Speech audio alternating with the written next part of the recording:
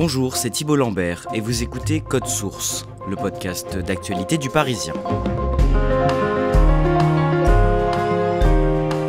Le samedi 1er octobre 2022, des centaines de magasins de prêt-à-porter camailleux ont définitivement baissé le rideau.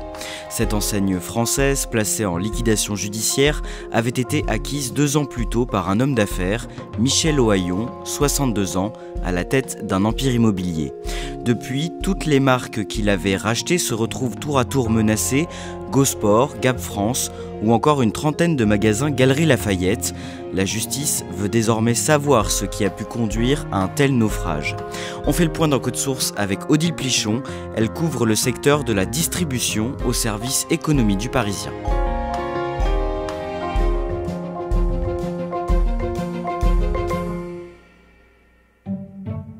Odile Plichon, le samedi 1er octobre, vous vous rendez en reportage dans une boutique Camailleux, rue d'Avron, dans le 20e arrondissement de Paris. D'abord, pourquoi est-ce que vous allez là-bas? Alors, la liquidation judiciaire de l'enseigne vient d'être prononcée et c'est le dernier jour d'ouverture des magasins euh, Camailleux euh, de France.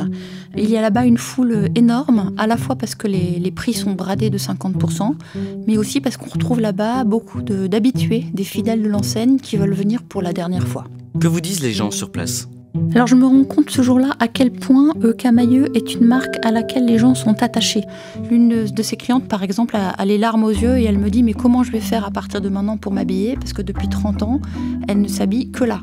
Beaucoup de clientes sont venues ce jour-là avec euh, des chocolats, des fleurs, des bonbons, des petits mots d'encouragement aussi, parce que la plupart des vendeuses de Camailleux seront au chômage à partir du lundi et que pour certaines d'entre elles qui sont dans la boîte depuis 20 ou 30 ans, euh, les lendemains vont être très très durs. Donc il y a beaucoup, beaucoup d'émotions ce jour-là.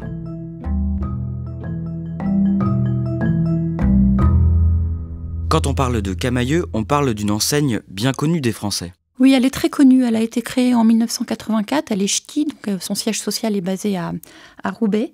Dans les années 90 et 2000, c'est vraiment une des enseignes les plus connues en France. Il y a euh, plusieurs centaines de magasins Camailleux dans tous les centres-villes. Et c'est vraiment euh, la marque de référence dans le segment qu'on appelle de milieu de gamme de la mode. Et tous les gens connaissent le nom de Camailleux. Odile Plichon, dans cet épisode de Code Source, vous allez nous raconter comment Camailleux et d'autres grandes enseignes comme Gosport, Gap ou encore les Galeries Lafayette se sont retrouvés en difficulté. Derrière ces grandes enseignes que je viens de citer, il y a un homme d'affaires qui les avait rachetées les unes après les autres. Qui est-il? Il s'appelle Michel Oyon, il a aujourd'hui 62 euh, ans. Il a euh, cinq enfants, il faut le souligner parce que certains de ses enfants travaillent avec lui dans la galaxie euh, de sa holding. Quand on le voit, c'est quelqu'un qui a toujours des chemises sombres avec des costumes sombres. Il est très bien habillé, il a une sempiternelle barbe de trois jours. Et tous ceux qui l'ont côtoyé décrivent quelqu'un qui est cultivé, intelligent, charmeur, ambitieux aussi, très ambitieux. Quand il rencontre les gens, il leur dit quelle est l'étape d'après et ce qu'il fera plus tard. Donc c'est une ambition qui est euh, totalement assumée. Revenons d'abord un peu sur son parcours. Dans quel milieu est-ce qu'il grandit? Alors il est né en 1961 à Casablanca. Quand il a deux ans, ses parents décident de quitter le Maroc pour rejoindre Mérignac euh, près de Bordeaux et ils deviennent marchands de tissus. En 1990, quand il a 29 ans, Michel Ohaillon achète un premier fonds de commerce à Bordeaux et à partir de là, il se construit un empire immobilier regroupé au sein de sa holding, la FIB, la financière de l'immobilier bordelais. Il commence effectivement par acheter un premier magasin euh, Daniel Echter qui va vite devenir euh, bénéficiaire. Puis, avec l'aide de ses parents, il rachète d'autres boutiques et il se lance dans l'immobilier commercial dont les prix sont alors euh, très très bas. Il a cette intuition géniale de racheter en fait des immeubles dans lesquels il y a des commerçants, il les rénove et il les revend plus cher. Il les loue également à des marques très connues comme H&M, Gap, Celio et la notoriété de ces marques fait que les banques ont confiance en lui et vont lui euh, prêter de plus en plus d'argent.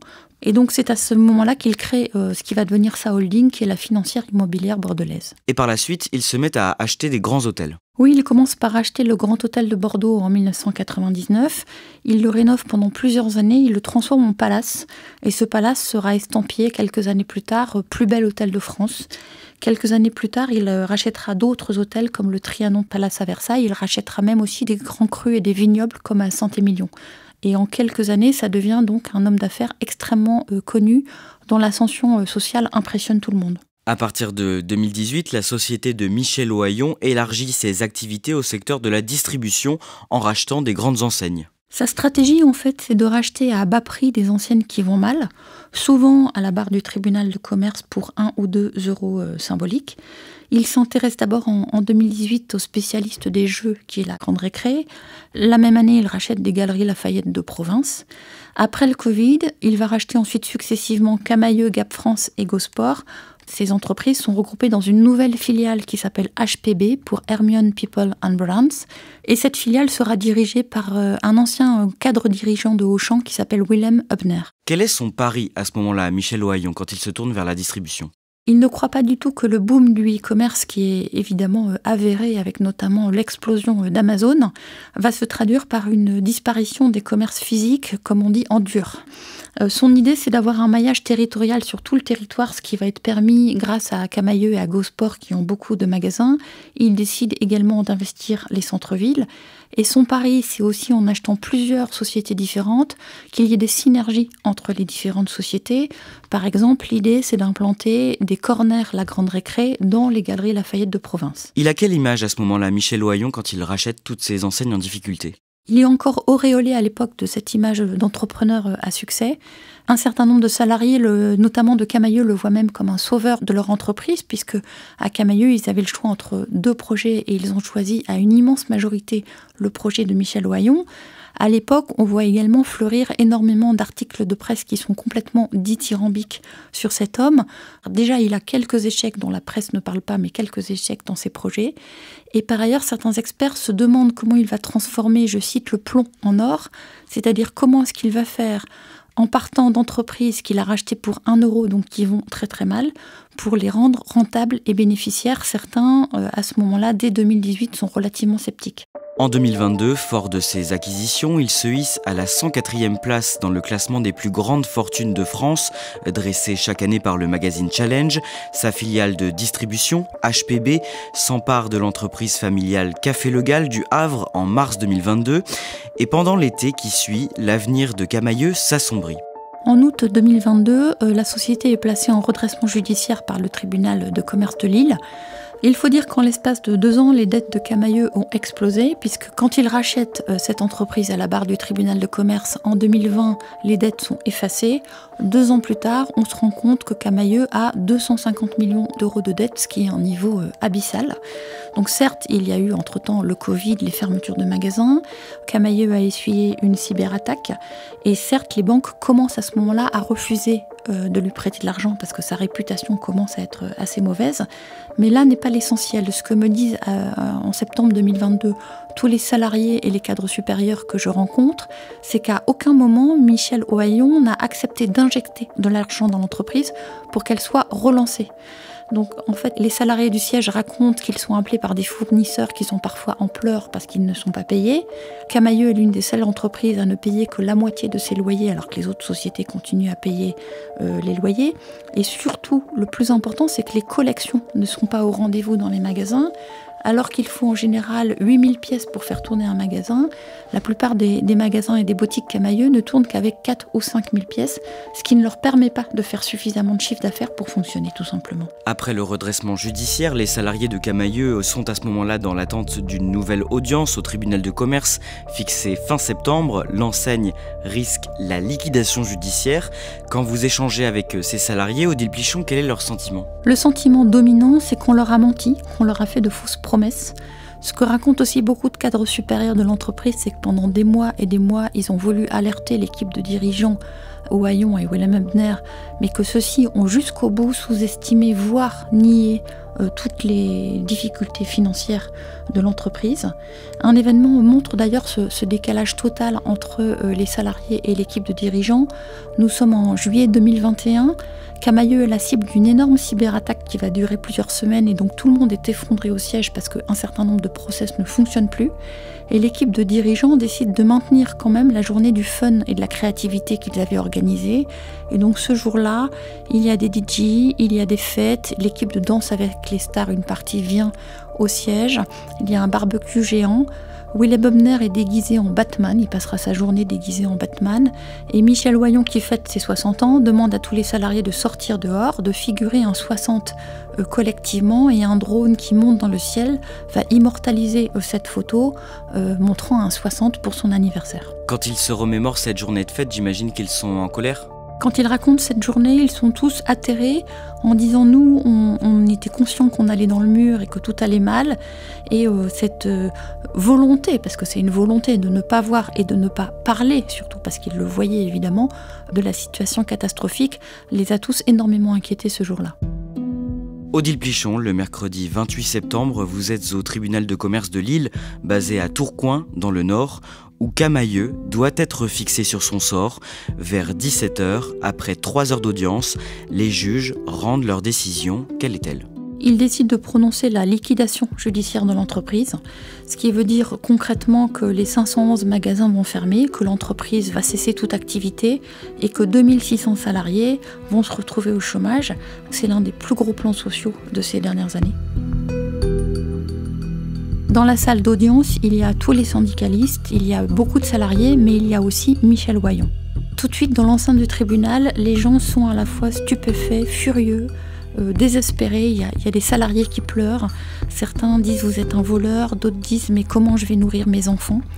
Dans un premier temps, euh, Michel Oyon reste très calme et leur dit écoutez, aujourd'hui vous avez tout perdu, vous avez perdu votre boulot, donc j'accepte que vous soyez en colère contre moi. Mais quand il voit que les gens continuent et sont très en colère, il, devient extrêmement euh, maladroit. Et il leur dit écoutez, vous, vous avez perdu votre emploi, mais moi, euh, dans cette histoire, je viens de perdre 43 millions d'euros. Et là, il y a un tel décalage à nouveau que les gens s'arrêtent, il y a un demi-silence. Et il est entouré de deux hommes qui le prennent et qui vont l'amener extrêmement vite à l'extérieur du tribunal. En fait, ils l'exfiltrent. Et je vais me renseigner après. Et en fait, ces deux hommes sont d'anciens membres de ce qu'on appelait auparavant les renseignements généraux, qui sont là pour vérifier qu'il n'y a pas de dérapage. Mais c'est vrai qu'à un moment, on s'est dit que tout pouvait basculer.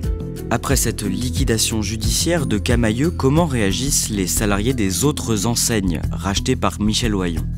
Il s'alarme d'autant plus que les faits en fait sont récurrents d'une entreprise à l'autre et notamment dans toutes ces entreprises, les fournisseurs ne sont pas payés et donc arrêtent de livrer et les magasins se retrouvent parfois avec des ruptures euh, de stock. La plupart de ces syndicalistes décident donc à l'époque d'exercer ce qu'on appelle le droit d'alerte, qui est une procédure qui permet d'obtenir une photographie fiable financière de l'entreprise, parce que évidemment, dès ce moment-là, ils n'ont plus aucune confiance dans leur direction et veulent avoir une idée précise de la situation. Odile Plichon, on en vient à cette année. Le 13 janvier, vous révélez dans Le Parisien les dessous troublants d'un contrat de sponsoring entre l'enseigne Gosport et un club de cyclisme, le Vélo Club de Roubaix. De quoi s'agit-il exactement? En janvier, je, reçois effectivement la copie d'un contrat confidentiel entre HPB, qui est donc la filiale distribution de l'Empire de Michel Oyon, et ce vélo club, le vélo club de, Roubaix. Il s'agit d'un contrat de sponsoring de trois ans. Euh, pendant trois ans, tous les ans, le vélo club recevra 600 000 euros, donc on est sur un budget de 1,8 million d'euros. Et plusieurs choses interpellent assez vite quand on regarde ce contrat. Le premier élément, ce sont les sommes en jeu, parce que euh, le Vélo Club de Roubaix n'est entre guillemets que euh, en troisième division mondiale, et donc la plupart des contrats à ce niveau-là sont quand même bien moins importants, voire ce que me disent certains experts à l'époque, euh, il n'aurait pas dû y avoir de contrat. Le deuxième élément qui, trouble ces experts que j'interroge, c'est qu'en fait, il n'y a pas de contrepartie. C'est-à-dire que souvent, quand on signe un contrat de sponsoring, il y a euh, des contreparties en matière euh, de ce qu'on appelle les plans médias, c'est-à-dire d'organisation d'événements sportifs qui permettent de donner une visibilité à GoSport, puisque les, cyclistes du vélo club ont des maillots GoSport, par exemple.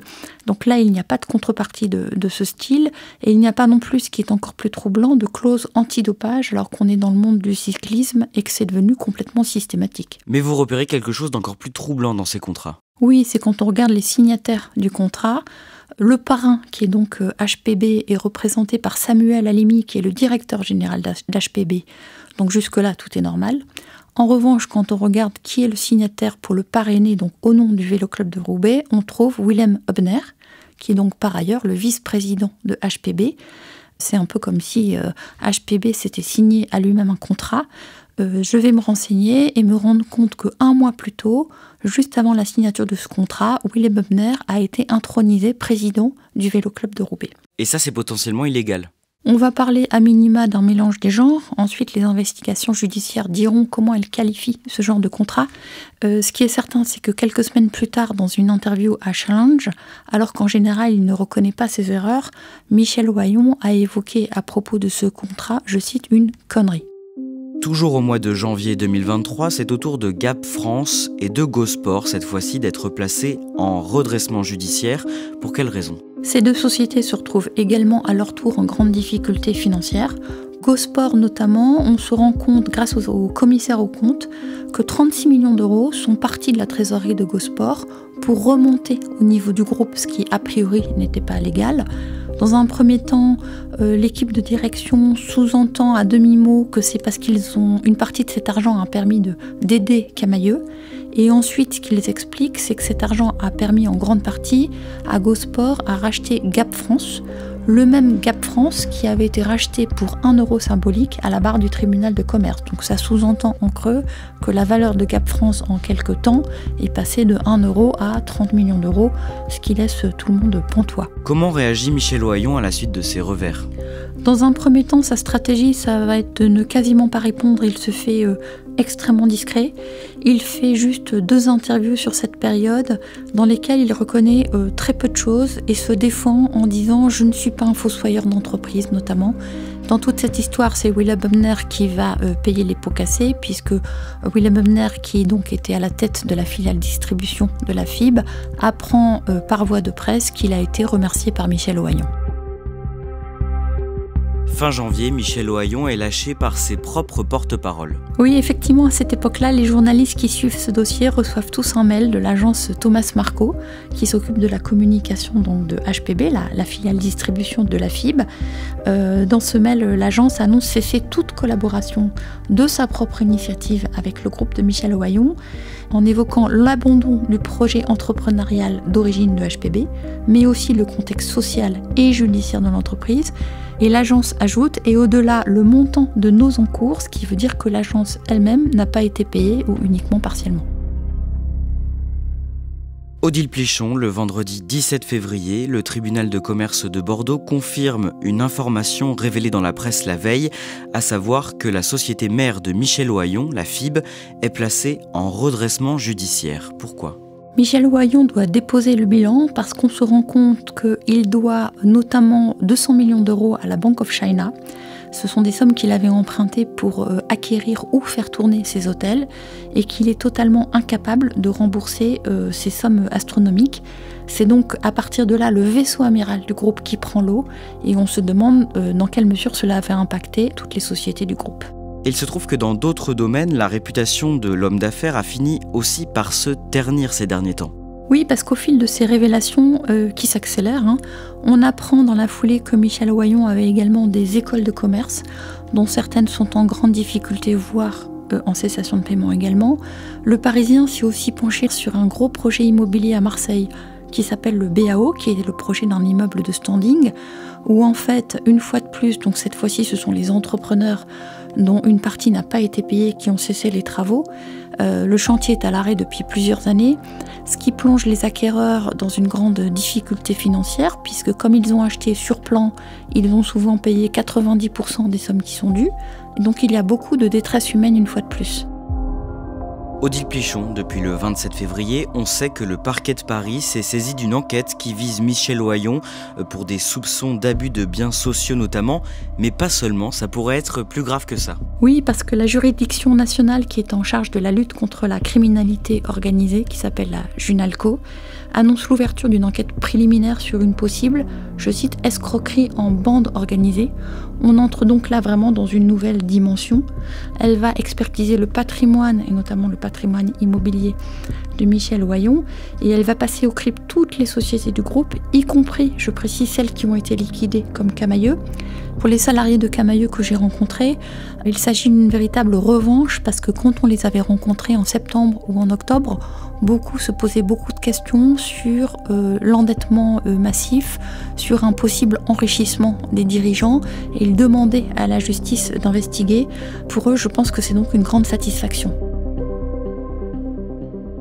Derrière ces investigations et les difficultés de la société mère de Michel Ohaillon, la FIB, ce sont des milliers d'emplois qui sont menacés aujourd'hui Oui, parce que euh, quand on additionne le nombre de salariés de Camailleux, euh, Gosport, Gap, on arrive déjà à 5800 euh, salariés, sans compter les hôtels et mm, tout ce qui est immobilier commercial qui était le cœur de métier de Michel Ohaillon au départ. Le nombre de salariés concernés est tellement important que ce dossier est évidemment suivi de très près par Bercy.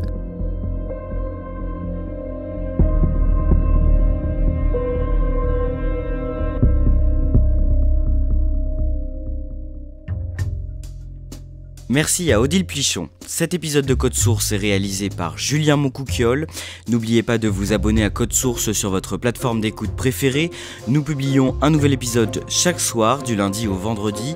Si vous voulez nous écrire, c'est possible sur Twitter, at Code Source, ou bien à cette adresse, codesource at leparisien.fr.